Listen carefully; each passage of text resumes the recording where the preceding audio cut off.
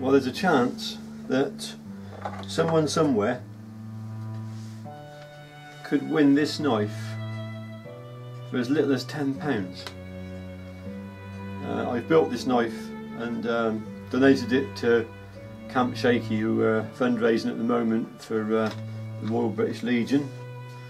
Um, it's a very worthwhile charity to support uh, and I'll I'll put a link at the end of the video and a link in the description box below to um, Camp Shaky's video, Forest Prepper, uh, who's running the uh, the raffle, uh, and you can buy a ticket for this knife, and um, you'll see the knife in good detail on his video.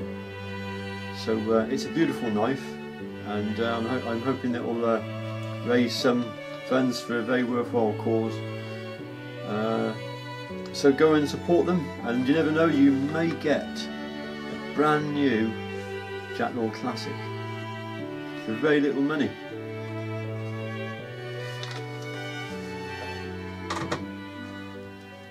Now Gareth uh, has just bought this knife from me and um, can I see a photo of it he said. And uh, I always try to go one better. I said well I'll do you a video instead. Um, so uh, here it is, uh, Gareth. I'm moving for a closer look. I got my my little dog on, sat on the lap here.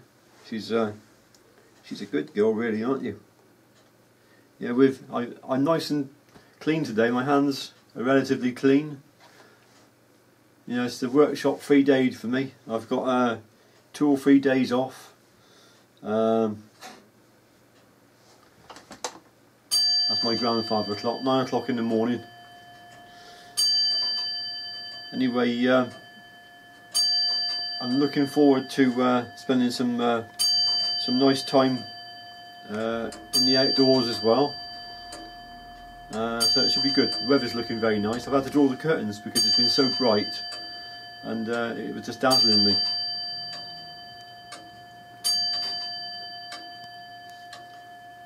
Right, that's the end of that. That's 200 and in uh, 225 years old that clock is.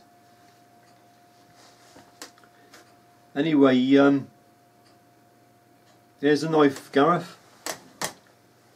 Right hand sheath. Uh,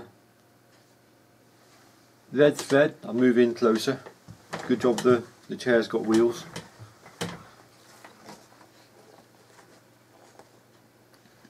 Drain hole. Edge dyed back black. Logo on there. Logo on the dangler. Solid brass. Press studs. Brass d-ring.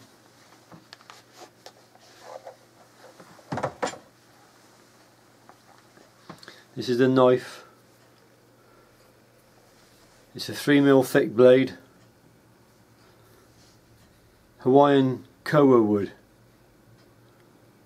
gorgeous wood.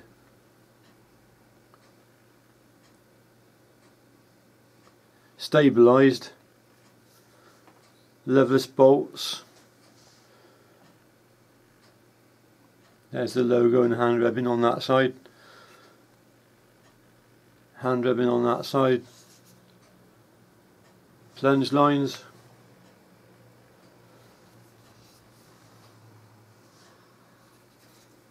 apex pommel.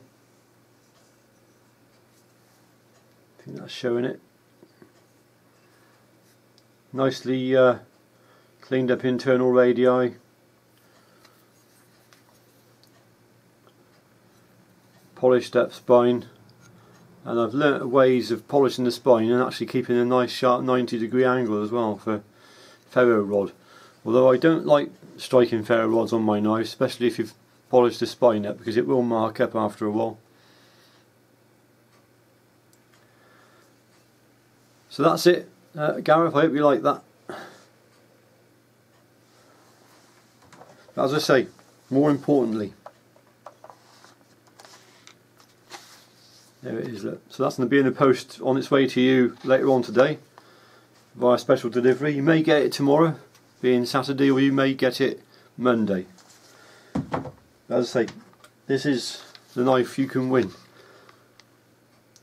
on the Camp Shaky uh, raffle. So go and support them. Check out the link uh, in the description box and the video at the end of this and the link to the video at the end of this video. All the best everybody. Have a nice weekend. Bye for now.